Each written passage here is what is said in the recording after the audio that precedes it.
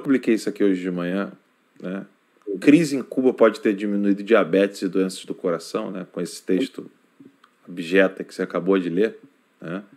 População perdeu peso ao comer menos. Sabe? Só um doente. É sério, isso aqui a pessoa não pode estar normal, sabe?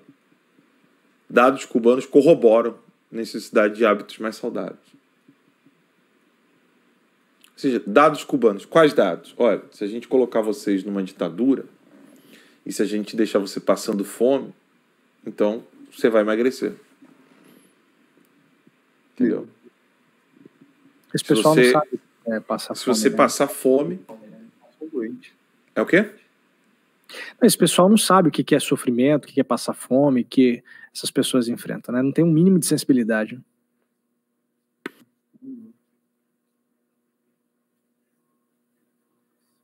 Tá mudo seu microfone, Alan.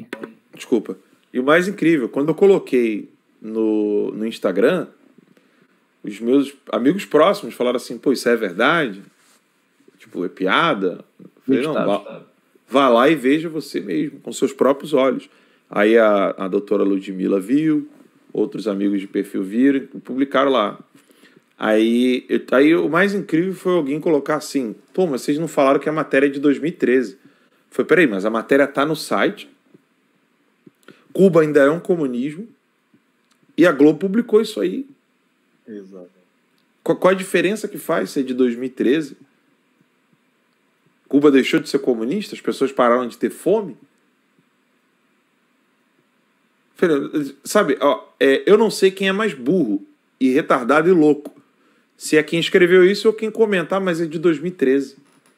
Eu, eu, fico, eu fico pensando assim, pô, mas peraí, não. Não é possível, só, só eu tô usando cérebro. Não é possível. Não é possível que a matéria ainda tá no G1. Tá lá no bem-estar do G1. Existe, tá lá a matéria. Cuba ainda é um, ainda é um país comunista.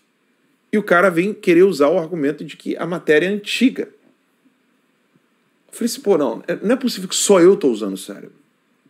Não, ainda bem que tem várias pessoas aqui nos assistindo que também, né? Sabe, né? Mas não é possível que tem tanto. Que, assim, que o número de pessoas que não usam cérebro é grande. E é isso que está me assustando.